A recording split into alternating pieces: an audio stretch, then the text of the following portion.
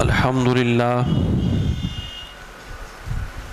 الحمد لله الذي له ما في السماوات وما في الأرض، وله الحمد في الآخرة، وهو الحكيم الخبير.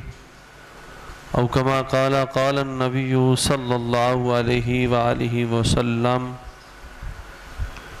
لا يؤمن أحدكم حتى أكون أحب إليه من والده وولده والناس أجمعين. قال الله تبارك وتعالى في شان حبيبه مخبرا وآميرا إن الله وملائكته يصلون على النبي. يا أيها الذين آمنوا صلوا عليه وسلموا تسلیما تسليما.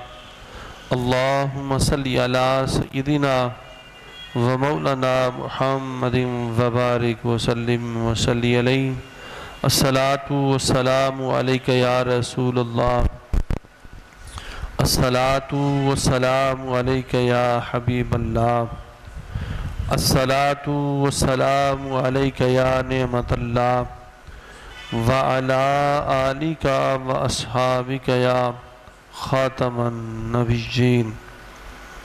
اللہ تعالیٰ جل مجد الکریم کی حمد و ثنا جو ہر شے کا خالق و مالک بھی ہے اور ہر شے کا وارث بھی ہے۔ ہر طرف اسی کا راج ہے۔ ہر طرف اسی کا حکم چلتا ہے۔ دریاؤں، سمندروں میں کشتیاں اسی کے اذن سے رواں دواں ہیں۔ اس کے محبوب مکرم نور مجسم شفیع معظم صلی اللہ علیہ وآلہ وسلم کے ذات والا صفات پہ درود و سلام کے خراج پیش کرنے کے بعد احباب جی وقار، علماء گرامی قدر دور و نزدیک سے تشریف لائے ہوئے آپ سبھی محترم محتشم سامعین و حاضرین و ناظرین۔ ہمارا آج کا عنوان فلسفہ قربانی۔ اور چند ایک اسی حوالے سے فقی مسائل۔ اللہ رب العزت نے اس عظیم مہینے میں جو امت مسلمہ کے لیے ایک خوبصورت اور بہترین پاکیزہ یہ دن رکھے گئے اور اس ماہ مبارک کے دامن میں حج بیت اللہ کی سعادتیں اور سنت ابراہیم خلیل اللہ علیہ السلام آپ کے حوالے سے اور سنت جناب رسالت معاب صلی اللہ علیہ وآلہ وسلم اور رہتی دنیا تک، قیامت تک کے لیے ہر مسلم مومن کے لیے ان خاص دنوں کو مقرر فرما دیا۔ ایک طرف صاحب استطاعت ان دنوں کے اندر حج بیت اللہ پہ حج کی سعادتوں کی نیت سے گھر سے نکل کے حرمین شریفین کی برکتوں سے لطف اندوز ہوتا ہے۔ تو دوسری طرف جو حج کی سعادت تو اور حج کے سفر کو تو حاصل نہیں کر سکتا، لیکن پیچھے رہ کے سنت حضرت سیدنا ابراہیم و اسماعیل علیہ السلام اور سنت سرکار دو عالم صلی اللہ علیہ وآلہ وسلم کو بجا لاتا ہے۔ بڑے مبارک دن۔ یہ حکم، حج کا حکم جو ہے، یہ نو ہجری کو اللہ رب العزت نے امت مسلمہ پہ مہربانی فرمائی اور یہ حکم دیا کہ مسلمانوں کو جس طرح دوسرے فرائض ہیں، نماز ہے، روزہ ہے، زکوٰۃ ہے، اسی طرح صاحب استطاعت کو بھی حج کے اس فریضے سے سرفراز فرمایا۔ حج اور قربانی، یہ دونوں بہت خوبصورت عمل ہیں جو مسلمان مومن ان دونوں کو بجا لاتا ہے، یقیناً وہ دارین کی سعادتیں حاصل کرتا ہے۔ اور حج کی فضیلت اور اہمیت کو جس طرح اللہ رب العزت نے قرآن مجید فرقان حمید کے بہت سارے مقامات پہ واضح فرمایا، اسی طرح نہ کرنے پہ حج بیت اللہ صاحب استطاعت ہونے کے باوجود جو اس سعادت سے محروم ہو جائے اس کے لیے سرکار دو عالم صلی اللہ علیہ وسلم نے بھی فرمایا کہ جو بندہ حج کی سعادت، حج کی استداعت رکھتا ہو، حج کی طاقت رکھتا ہو، لیکن طاقت ہونے کے باوجود حج نہ کرے، تو حضور فرماتے ہیں کہ وہ بندہ عیسائیوں کے مرے یا یہودیوں کے مرے، ہمیں اس کی کوئی پرواہ نہیں ہے۔ یعنی اس کی فرضیت، اہمیت اور اس کی فوقیت کو بندہ ان لفظوں سے زیادہ سمجھ سکتا ہے کہ جس کے بارے میں سرکار نے اتنی بڑی دھمکی دے دی تو اب بندے کو اب پیچھے کوئی چیز باقی نہیں رہ جاتی۔ سرکار نے فرمایا کہ کوئی طاقت ہونے کے باوجود، استطاعت ہونے کے باوجود جو آزم سفر حج نہ ہو فرمایا وہ یہودی یا عیسائیوں کے مرے میں اس کی کوئی پرواہ نہیں ہے۔ تو لہٰذا صاحب استطاعت کے لیے ضروری ہے کہ وہ اس فریضے کو بھی انجام دے۔ اور اس کے ساتھ ساتھ قربانی کے اندر بھی یہی فلسفہ اور یہی حکمت ہے۔ ان دونوں کے اندر حج بیت اللہ شریف کو دیکھ لیں یا قربانی کے اس عمل کو دیکھ لیں۔ قربانی جو ہے ویسے تو جو صاحب نصاب ہے، جس طرح جس پہ زکوٰۃ لازم ضروری ہے، اسی طرح صاحب نصاب پر قربانی بھی ہے، لیکن فرق صرف اتنا ہے کہ زکوٰۃ کے لیے بندے کے اوپر ایک پورا سال کمری مہینے یعنی چاند کی آج کی تاریخ سے لے کے آئندہ سال آج تک، جس کے اوپر پورا سال گزر جائے صاحب نصاب ہو اور پورا ایک سال گزر جائے، اس پہ زکوٰۃ فرض ہے۔ لیکن قربانی کے لیے صرف فرق اتنا ہے کہ قربانی بھی صاحب نصاب کے اوپر لازم ہے، ضروری ہے۔ لیکن فرق صرف اتنا ہے کہ اگر کوئی بندہ پہلے غریب ہو، صرف آج رات ہی، ایک دن ہی پہلے، یا خاص ان دنوں کے اندر، وہ گیارہ، بارہ، تیرہ کو ان تین دنوں کے اندر ہی اگر وہ صاحب نصاب ہو گیا یعنی وہ امیر ہو گیا، اس کے پاس اتنی رقم آ گئی کہ اب وہ صاحب نصاب ہے، تو اس کے اوپر قربانی جو وہ واجب ہے۔ تو ان دونوں کے اندر حج بیت اللہ شریف بھی اور قربانی کے اندر بھی جو فلسفے اور جو حکمتیں جو مضمر ہیں، چھپی ہوئی ہیں، اگر ان کو بندہ قریب سے جانے اور سمجھے، تو یقیناً بندہ لطف اندوز ہوتا ہے کہ بڑی مومن کی زندگی یقیناً بڑی حسین زندگی ہے۔ مومن اور مسلم کے لیے یہ زندگی یقیناً مبارک زندگی ہے۔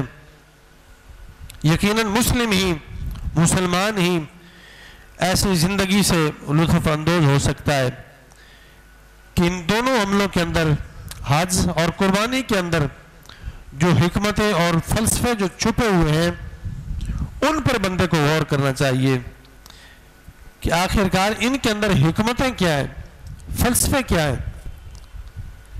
ہمیں حج اور قربانی کیا درس دیتے ہیں؟ ہمیں ان سے کیا سبق حاصل ہوتا ہے؟ قربانی صرف جانور خرید کے کوئی امیر قریب ہو کبیر ہو اور وہ ان کو ذبح کر کے، گوشت بنا کے تو وہ لوگوں کے اندر صرف اپنی دھاک بٹھا دیں۔ قربانی کا فلسفہ یہ نہیں ہے کہ مال و دولت ہو تو بندہ بڑے بڑے جانور، وزنی جانور لے لے اور ان کو قربان کر کے، ان کو ذبح کر کے بس لوگوں میں تقسیم کر دے، بانٹ دے۔ اگر کسی کی نیت ریاکاری کی نیت ہے، دکھلاوے کی نیت ہے، تو اس قربانی کا کوئی فائدہ نہیں ہے۔ اگر بندے کی نیت ریاکاری سے ہے، بندے کی نیت دکھلاوا ہے کہ لوگ، قرب و جوار کے لوگ، سننے والے لوگ یہ کہیں گے کہ اس نے بڑے شاندار جانور ذبح کیے ہیں اور لوگوں کے اندر اس نے اتنا گوشت تقسیم کیا ہے۔ اگر اس کا مطلب اور مقصد صرف یہی ہو، تو اس قربانی کا کوئی فائدہ نہیں ہے۔ اور اس کا کوئی جواز نہیں اس قربانی کا۔ جہاں پہ ہمیں قربانی کے وجوب کے بارے میں، قربانی کی ہمیں ترغیب دی گئی ہے۔ قرآن و سنت کے اندر اللہ رب العزت کے احکامات اور سرکار دو عالم صلی اللہ علیہ وآلہ وسلم کے بین اور واضح جو ارشادات ہیں، جہاں ان پر ہمیں قربانی کا، ہمیں قربانی کے وجوب کا، قربانی کے جواز کا ثبوت ملتا ہے۔ وہی ہمیں قرآن و سنت کے اندر ہی ہمیں دکھلاوے اور ریاکاری کے اوپر بھی ہمیں منع کیا گیا ہے کہ کہیں قربانی کرتے وقت تمہارے اندر ریاکاری نہ آ جائے۔ ان فلسفوں کو سمجھو، ان حکمتوں کو سمجھو۔ جہاں میں قربانی کرنے کا حکم دیا گیا ہے، وہاں میں تقوی کا بھی حکم دیا گیا ہے کہ ریاکاری سے بچو۔ قربانی تمہاری تب قبول ہوگی جب تمہارے اندر تقوی ہوگا۔ اور اگر تمہارے اندر تقوی جیسی دولت نہیں ہے، تو قربانی کا کوئی فائدہ نہیں ہے۔ اگر تم حج بیت اللہ کر رہے ہو، اگر تم قربانی کر رہے ہو، تو ان کے اندر اگر تمہاری بنیاد تقوی پر ہے، تو پھر سمجھو کہ پھر یہ قبول ہے۔ اور اگر درمیان میں تقوی نہیں ہے، اگر اس کے اندر رضائے الہی نہیں، اور اگر اللہ رب العزت اور اس کے محبوب پاک صلی اللہ علیہ وسلم کو راضی کرنے کی نیت نہیں ہے، تو پھر قربانی کا کوئی فائدہ نہیں۔ کوئی فائدہ نہیں۔ ہمیں واضح فرما دیا۔ کرم مجید فرقان حمید میں فرمایا نہیں ینال اللہ لحومها ولا دماغها ولكن يناله التقوى منكم فرمایا کہ، سن لو، ہرگز ہرگز تمہارے گوشت اور تمہارے خون جو ہے یہ اللہ رب العزت کی بارگاہ میں یہ نہیں پہنچتے۔ اللہ رب العزت تک تمہارے خون اور تمہارے گوشت جو یہ کبھی نہیں پہنچتے۔ ملا کی جلال تقوا منکم، فرمایا کہ بلکہ اس کی بارگاہ میں تو تمہارا تقوی پہنچتا ہے۔ تمہارا تقوی پہنچتا ہے کہ تم نیت، کس نیت سے اور کس ارادے سے تم اس کی بارگاہ میں اپنے جانور کو پیش کر رہے ہو۔ تو میرے بھائی، عزیز صاحب و بزرگوں اپنی قربانیوں کے اندر بحمد اللہ اسلام کا ہر ہر عمل جو ہے، ہر نیکی، ہر سال عمل جو ہے، اس کے پیچھے یقیناً بشمول قربانی و حج ہر عمل کے پیچھے جو ہے، اس کی بنیاد جو ہے وہ تقوی پہ اگر تقوی نہیں ہے تو پھر کوئی عمل بھی قبول نہیں ہے۔ اور اگر ہمارا کی کچھ چھوٹی سی نیکی بھی ہو، اگر ہم راستے پہ جا رہے ہیں تو چھوٹی سی نیکی بھی کرتے ہیں اور اس کے اندر ہماری نیت یہ ہے کہ میں یہ اللہ کی رضا کے لیے کر رہا ہوں، تو پھر سمجھو پھر وہ قبول ہی قبول ہے۔ ایک مرتبہ سرکار دو عالم صلی اللہ علیہ وسلم تشریف فرمائے، سامنے سے ایک آدمی گزرنے لگا۔ تو صحابہ نے کہا کاش یہ بندہ دین کی طرف چلتا، دین کی طرف آ رہا ہوتا، دین کی کسی سرگرمی میں یہ مصروف ہوتا، تو کتنا اچھا ہوتا۔ تو حضور تشریف فرمائے۔ سرکار نے فرمایا کہ اسے کچھ نہ کہو، وہ دینی کی طرف ہے۔ صحابہ بڑے حیران ہوئے۔ عرض کی گئی، یا رسول اللہ، وہ کیسے؟ سرکار نے فرمایا، اس بندے کو بلاؤ۔ اس بندے کو بلایا گیا۔ سرکار دو عالم صلی اللہ علیہ وسلم نے پوچھا، بھائی، کہاں جا رہے ہو؟ کس لیے جا رہے ہو؟ اس نے عرض کی، یا رسول اللہ، میں اپنے آل و عیال کے لیے، میں کمانے کے لیے جا رہا ہوں۔ میں روزی کمانے کے لیے جا رہا ہوں۔ سرکار نے فرمایا کہ جو بندہ اپنے آل و عیال کے لیے صحیح نیت سے اللہ رب العزت کے حقوق کو پورا کرنے کے بعد جو بندہ اپنے آل و عیال کے لیے جائز اور حلال طریقے سے اور ایمانداری سے جو بندہ جا کے روزی بھی کماتا ہے، وہ یوں ہی سمجھے کہ جیسے وہ دین میں ہے۔ جیسے وہ جی جی دین کی طرف روان دوا ہے، جیسے وہ دین کے فرائض ادا کر رہا ہے۔ تو لہذا ہر عمل کے اندر ہر عمل کے پیچھے اور ہر عمل کی بنیاد جو ہے وہ تقوی پہ ہے۔ اگر درمیان میں تقوی نہیں ہے تو سمجھو کہ کوئی عمل قبول ہی نہیں ہے۔ تو ہم اپنے اعمال کو اللہ رب العزت کی بارگاہ میں اگر پیش کرنا چاہتے ہیں اور چاہتے ہیں یہ کہ ہمارا ہر عمل قبول ہو، تو میرے عزیز و صاحبوں، اپنے اندر تقوی کی دولت کو پیدا کرو، اپنے اندر تقوی کو مضبوط کرو۔ ہمارا تقوی جتنا زیادہ مضبوط ہوگا انشاءاللہ پھر چھوٹا چھوٹا عمل بھی جو ہے وہ یقیناً قبول ہوگا۔ یقیناً قبول ہوگا۔ اگر ہمارے اندر تقوی موجود رہے گا تو تو قربانیوں کے لیے بھی، خاص کر قربانی کے لیے بھی، یہ جان لیں، سمجھ لیں کہ قربانی بھی تک تب قبول ہوگی جب ہمارے اندر تقوی ہوگا تو۔ جو ہمارے بھائی عزیز جو یہ طاقت اور استطاعت رکھتے ہیں، جو قربانی کر رہے ہیں، جنہوں نے اپنے جانور پال رکھے تو ان کو بھی اپنی نیتوں کو، قربانیوں کے ساتھ ساتھ اپنی نیتوں کو بھی یوسیدہ کرنا چاہیے۔ اپنے اندر رضائی الہی کا جو جذبہ ہے، اس کو پیش کرنا چاہیے۔ اپنے آپ کو مضبوط کریں کہ ہم جو جانور پیش کر رہے ہیں، وہ ہم اللہ کی رضا کے لیے پیش کر رہے ہیں۔ قرآن مجید فرقان امید کے اندر بہت سارے مقامات پہ، اور بھی بہت سارے ایسے مقامات ہیں جہاں بندے کو تقوی کی طرف دعوت دی گئی ہے۔ تقوی کی تعلیم دی گئی ہے۔ ایک دوسرے مقام پہ فرمایا وَيُتَعِمُونَ الطَّعَامَ عَلَىٰ حُبِّهِ مِسْكِينًا وَيَتِيمًا وَأَسِيرًا نیک لوگوں کی صفات کو بیان کیا گیا ہے۔ فرمایا کہ وہ لوگ جو ہیں، وہ لوگوں کو کھانا کھلاتے ہیں یعنی مومنین کا ذکر ہو رہا ہے۔ نیک لوگوں کا ذکر ہو رہا ہے کہ وہ لوگوں کو کھانا کھلاتے ہیں اور وہ اس نیت سے کھلاتے ہیں اور وہ کہتے ہیں لوگوں سے کہ یہ جو ہم تمہیں کھانا کھلا رہے ہیں، وہ مسکینوں کو، یتیموں کو اور قیدیوں کو کھانا کھلانے کے بعد وہ یوں کہا کرتے ہیں ان نما نطعمکم لوجہ اللہ، کہ بے شک ہم نے جو تمہیں کھانا پیش کیا، یہ ہم تمہیں اللہ کے لیے پیش کر رہے ہیں۔ یعنی ان کی نیت کے اندر یہ اخلاص ہوتا ہے۔ ان کی نیت کے اندر یہ تقوی ہوتا ہے۔ تقوی کی دولت سے وہ مالا مال ہوتے ہیں۔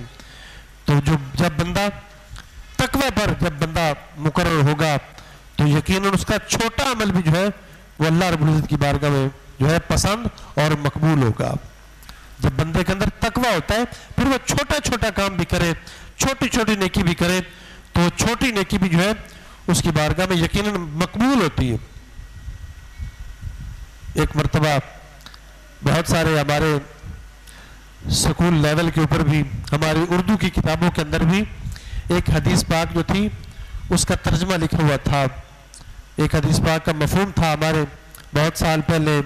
اردو کی کتابوں کے اندر بھی اس حدیث پاک کو رقم کیا گیا تھا۔ تو حدیث پاک کا مفہوم تھا، تین دوست جو ہیں، وہ ایک بار سفر کر رہے ہیں۔ راستے میں کوئی آندھی، طوفان یا بارش ہوئی تو وہ جلدی سے ایک غار میں جا کے تینوں چھپ گئے۔ انہیں کوئی اور جائے پناہ نہ ملی، تو قریب غار تھی، غار کے اندر وہ تینوں دوڑ کے چلے گئے۔ تین ساتھی ہیں جب تینوں نے پناہ لی، کچھ دیر کے بعد وہ طوفان، بارش وغیرہ تھم گئی۔ تو اب انہوں نے ارادہ کیا نا، تو اچانک اس غار کے اوپر ایک پتھر جو تھا اوپر سے، اوپر چٹان سے وہ سرکا اور اوپر سے وہ دوڑتا وہ پتھر اس غار کے منہ کے آگے آ کے رک گیا۔ اب وہ غار کا منہ جو ہے وہ بند ہو گیا۔ اب وہ بڑے پریشان ہیں۔ تینوں نے مل کے زور لگایا، لیکن اب وہ پتھر ہٹنے کا نام نہیں لے رہا۔ بھاری پتھر ہے اب تینوں ساتھی اندر بیٹھ گئے۔ کافی سوچو بچار کے بعد جب تھک ہار گئے کہ اب یہ پتھر ہٹنے والا نہیں ہے۔ تو اپنی موت کے انتظار میں ہے تو تینوں نے آپس میں مل کے یہ مشورہ کیا کہ کیوں نہ ہو کہ اپنی نیکیوں کو یاد کر کے اللہ رب العزت کی بارگاہ میں کوئی دعا کرے، شاید ہو سکتا ہے کہ ہماری مشکل جو ہے وہ حل ہو جائے۔ اب تینوں نے مل کے ایک دوسرے کے ساتھ انہوں نے کہا کہ اب اپنی اپنی نیکیوں کو یاد کریں۔ اب بارگاہ عزی میں اپنے ان لفظوں سے اپنے گزرے ماضی کو انہوں نے یاد کرنا شروع کر دیا۔ ایک نے کہا کہ یا اللہ، تو جانتا ہے، تو دیکھنے والا ہے خبر رکھنے والا ہے۔ ہمیں اور تو یاد نہیں۔ یا اللہ، تو جانتا ہے میرے ماں باپ بوڑھے تھے اور میری اولاد بھی تھی۔ تو جب میں اپنے ریوڑ کو، اپنی بکریوں کا جب دودھ دویا کرتا تھا، تو اس میں بکریوں کا دودھ دو کے کشید کر کے سب سے پہلے میں اپنی ماں باپ کو پلایا کرتا تھا۔ اپنے بچوں سے بھی اپنے والدین کو میں مقدم رکھا کرتا تھا، والدین کا میں فرما بردار تھا، ان کی خدمت کرتا تھا۔ یا اللہ، اگر یہ میرا عمل تیری بارگاہ میں مقبول ہے، تو اس کو تو قبول فرما لے۔ اب جب اس نے یہ بارگاہ عزی میں دعا کی نا، تو حدیث پاک کا مفہوم ہے کہ وہ پتھر کچھ تھوڑا سا سرکا۔ اب دوسرے نے، اس نے کہا کہ یار، پتھر سرک گیا ہے۔ اب تم بھی دعا کرو۔ دوسرے نے عرض کی کہ یا اللہ، تو جانتا ہے۔ مجھے اور میرے اعمال جو ہیں، ان پر بھروسہ اور یقین نہیں ہے۔ لیکن ایک عمل جو مجھے یاد ہے کہ میں اپنی پوری زندگی کے اندر میرے پاس اولاد زیادہ تھی، لیکن کثرت اولاد ہونے کے باوجود میں نے لکمہ حرام انہیں نہیں کھلایا، بلکہ میں انہیں حلال کمائی کھلاتا رہا ہوں۔ یا اللہ، اگر یہ میری حلال روزی تجھے پسند ہے تو تو مہربانی فرما۔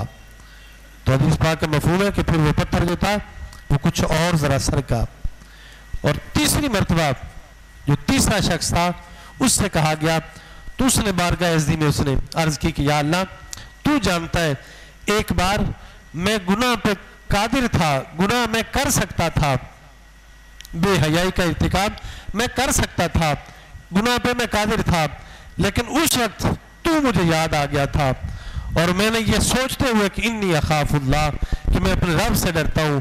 یا اللہ، اس گناہ سے میں بچ گیا اور میں رک گیا اس گناہ کرنے سے۔ اگر وہ میرا عمل تجھے پسند ہو، تو میں تیری بارگاہ میں عرض کرتا ہوں کہ ہمیں معاف فرما اور ہمیں یہاں سے نکلنے کا راستہ دے۔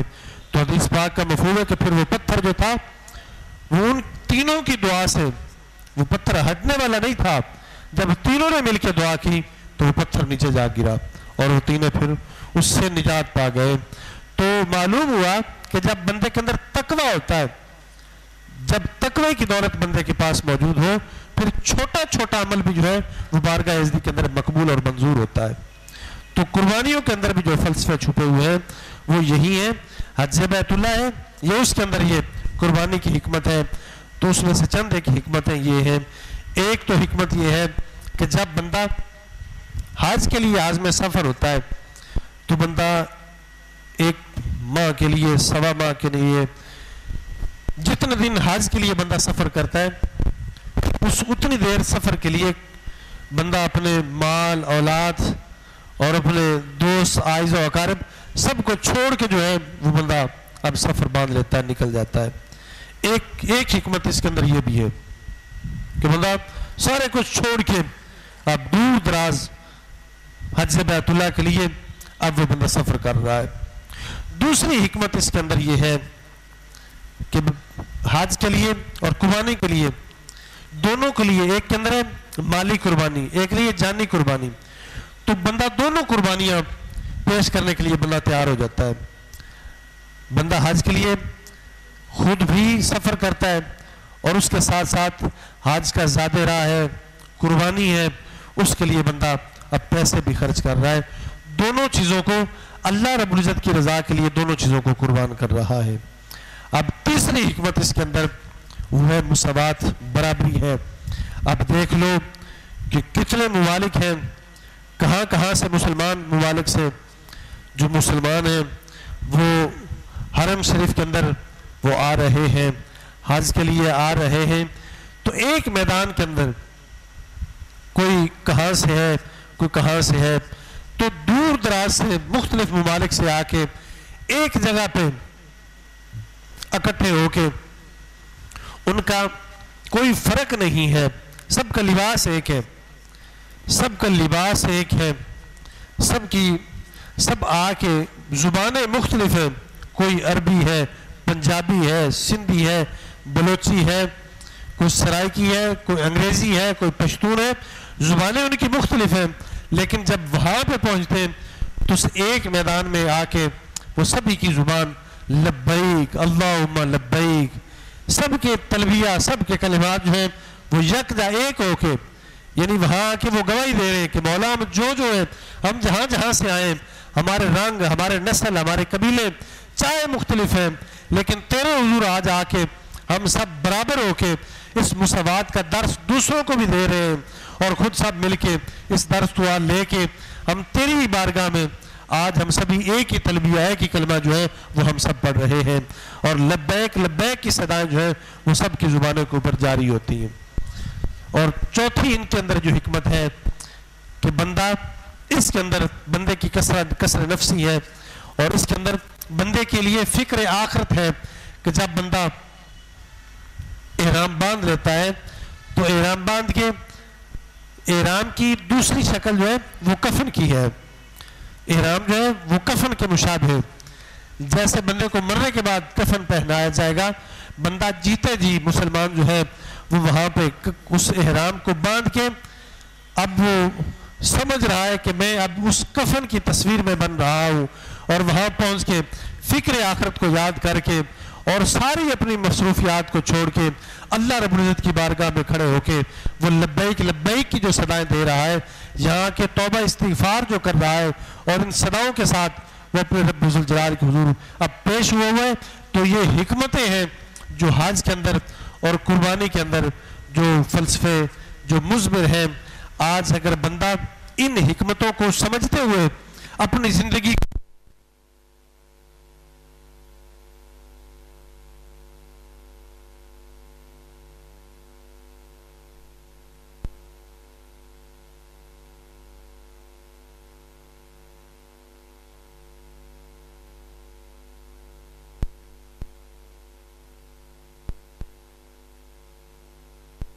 اندر کتنا بڑا تقوی چھپا ہوا ہے، جیسے روزے سے میں یہ درس ملتا ہے کہ ایک امیر ہے، دوسری طرف غریب ہے۔ جب امیر روزہ رکھتا ہے، تو اس کو پتہ چلتا ہے کہ میں اتنے بڑے امتحان سے گزرا ہوں۔ جیسے میں نے صبح سے لے کے شام تک میں نے کچھ نہیں کھایا، جیسے میرا ایک دن کے اندر یہ حال ہوا ہے، غریب تو ساری زندگی اس میں بسر کر رہا ہے۔ اس کا کیا حال ہوتا ہوگا؟ جیسے امیر کو روزہ رکھوا کے اس کو غریب کا حال سمجھایا جا رہا ہے۔ اسی طرح قربانی کرنے کے لیے بھی اس کے اندر یہی حکمت چھپی ہوئی ہے کہ امیر آدمی جو ہے، جب وہ اللہ رب العزت کی بارگاہ میں اس زبیہ کو پیش کرتا ہے، تو اس کے اندر اس کو اپنے غریب بھائی کا بھی جو ہے، اس کو احساس ہوتا ہے۔ اور بند غریب امیر کو عمرات طبقہ کو، یہ اس کے اندر ایک بہت بڑی دعوت فکر ہے کہ اس کو چاہیے کہ جہاں پہ اپنی اس حلال کمائی کے اندر اس نے اس زبیہ کو پیش کیا ہے۔ اس کے اندر اس کو یاد رکھنا چاہیے کہ اپنے غربا، مساکین اپنے بھائیوں تک اپنی اس دعوت کو پیش کرے اپنے اس نذرانے کو اور اپنی اس عقیدت کو اور محبت کو پیش کرے اگر بندہ اس صحیح قیمت کو سمجھ کے قربانی کو اللہ رب العزت کی رضا سمجھتے ہوئے اس کو اگر اپنے دوسرے بھائیوں تک آئزہ و اقارب تک اس کو پہنچا رہا ہے تو سمجھو کہ یقیناً اس نے تقوی کو اس نے سمجھ لیا۔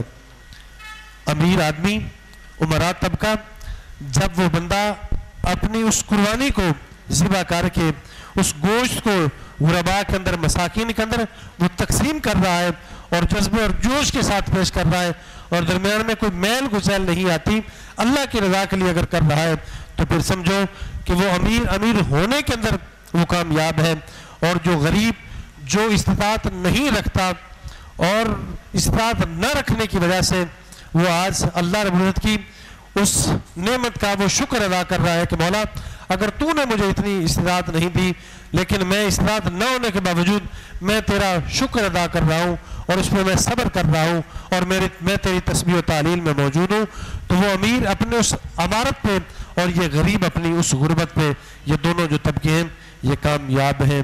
تو میرے عزیزوں، صاحبوں اور بھائیوں یقیناً اس فلسفے سے ہمیں، ہم کنار ہونا چاہیے۔ قربانی کے فلسفے کو سمجھ کے جو ہمیں دعوت فکر مل رہی ہے کہ آج ہمیں سبھیوں کو جہاں تک ہو سکے ہم خوش و خرم ہو کے اور اپنے جذبے کے ساتھ ان قربانیوں کو پیش کریں اور ان کے گوشتوں کو اپنے عزیزوں اقارب تک اور مساکین اور غربا تک پہنچائیں۔ یقیناً جب ہم غربا اور مساکین تک اپنے ان قربانیوں کو پہنچائیں گے اور پیش کریں گے، جب وہ راضی ہوں گے، تو یقیناً ہمارا رب بھی جو ہے، وہ ہم سے راضی ہوگا۔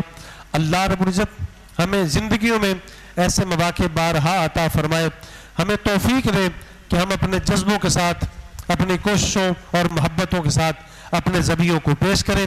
اور ہر سال جو ہے ہمیں یہ توفیق ملتی رہے اور ہم ان قربانیوں کو پیش کرتے رہیں اور ایک دو فقی مسئلے جو ہیں، جو بہت سارے حضرات احباب جو پوچھتے ہیں ان دنوں کے اندر، خاص کر آج صبح بھی ایک دو ساتھی پوچھ رہے تھے۔